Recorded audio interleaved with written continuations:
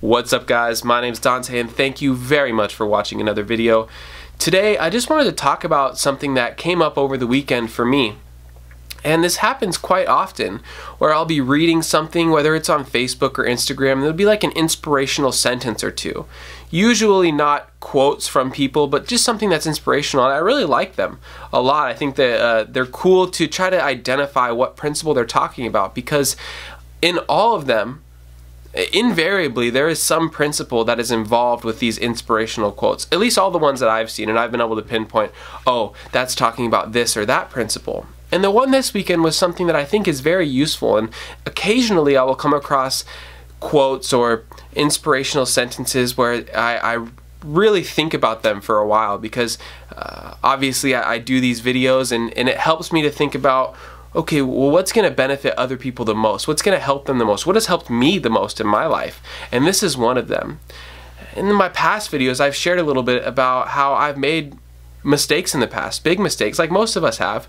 Um, and it, it caused me a lot of guilt and a lot of shame for for a long time. And when I was able to find a new way of life, that's what inspired me to make these videos is I wanted other people who may feel like they have made mistakes in their past, I wanted them to experience a new way of life and to know that those mistakes are things that are are great. And if we can recognize them as as being things that are essential to our lives and to our happiness, then our potential for growth goes through the roof. So without further ado, I will uh, try to remember as closely as I can what it said and share a little bit about what I think that means. And so this one said something along the lines of if I erase my past, I will also be erasing all of my wisdom, and, and it listed a few other good things. I remember wisdom as being something that really made me think.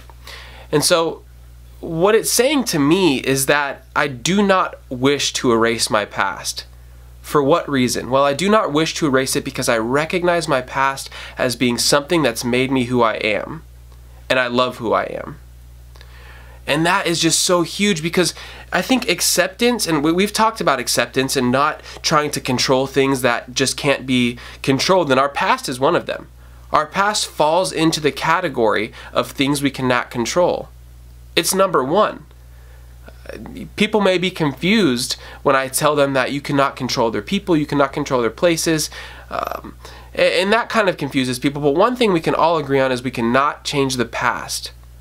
Right? And so that's the base level of what this quote means to me, but I think it's important to recognize that that's kind of what it's talking about. I do not wish to change the past. I do not wish to dwell on the past because it's a waste of my time, it's a waste of my energy.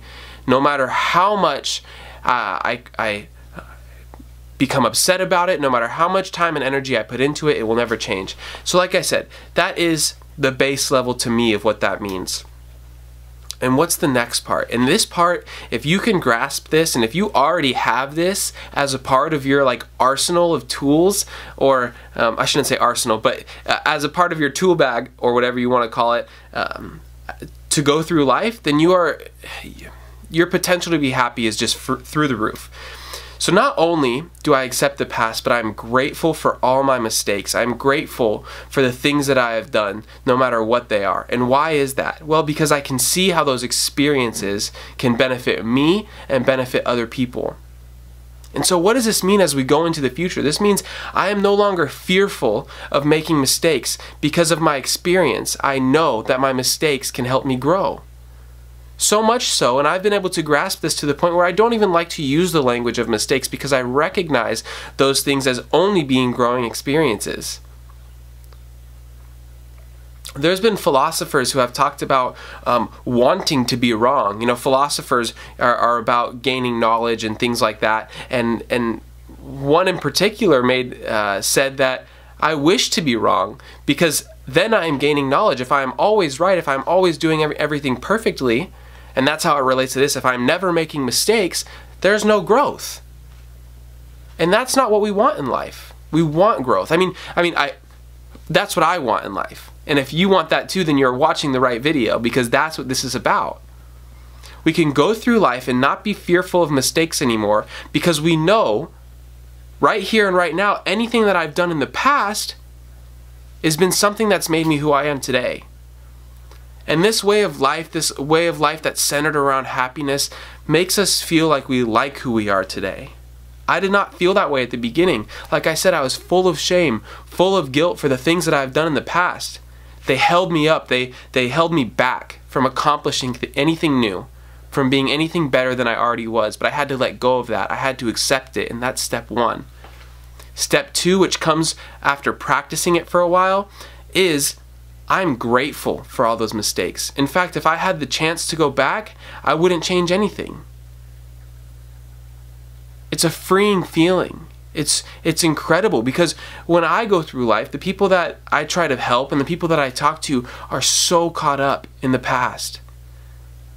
They cannot accept it. And I have sympathy because I've been there before.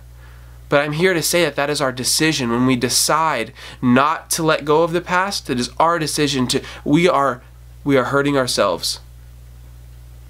We are doing that which makes it impossible to grow.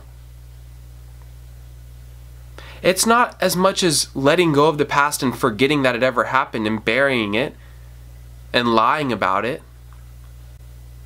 Like I said, we become grateful for the mistakes that we made. We can talk about them as though they might be able to help another person. I can tell people of the mistakes I've made today and not feel guilt or shame because because I hope that my mistakes can help other people. I, I heard one quote that said, smart people learn from their mistakes. And like I said, that's step one, acceptance, you know, learning from our mistakes.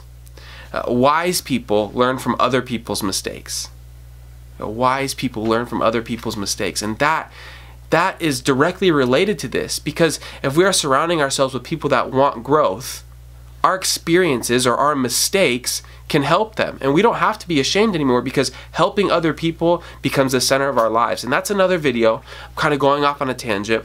Um, spoiler alert though, that video is all about how helping other people is literally the best thing you can do for yourself. It's counterintuitive. It doesn't seem like that makes very much sense. But once again, common thread uh, it's been talked about for ages that helping other people, there's nothing better you can do for yourself. We can practice these principles and get to the point where we understand that our past isn't something that we have to be ashamed of, that we can move forward, but it's all leading up to eventually understanding that all of this was to help other people and to spread this word. And that's that's kind of what I'm trying to do now.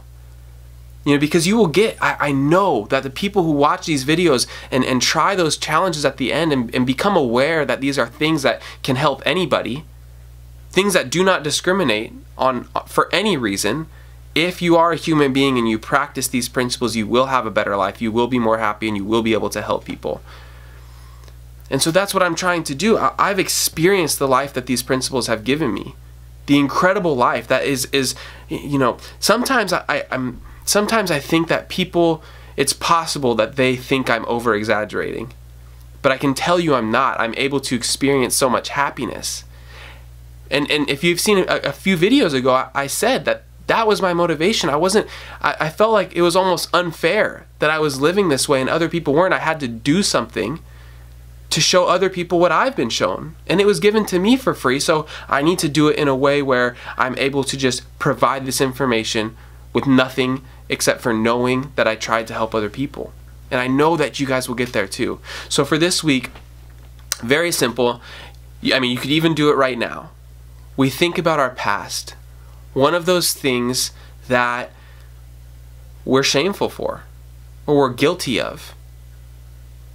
And there's other things we can do to get over that shame and guilt, but to understand one thing that as long as we hold on to that, as being a mistake, as being something that makes us a bad person, that will be true. But the moment we're able to let go of it and, and take the power away from it, holding us back or holding us down, we can continue to grow. And if that gets practiced enough, if we create a habit of, of acceptance, we will get to the next level, which is being grateful for all of those mistakes. And not only are they not holding us back, but they are helping us go forward. So, like I said before, think of something in your past that you may be guilty of or shameful for, and choose to accept it as being the way it's supposed to be, as being out of your control, as being unable to hold you back anymore. If you do that, I guarantee you'll feel more happiness. Thank you very much for watching this video, and we'll see you next time.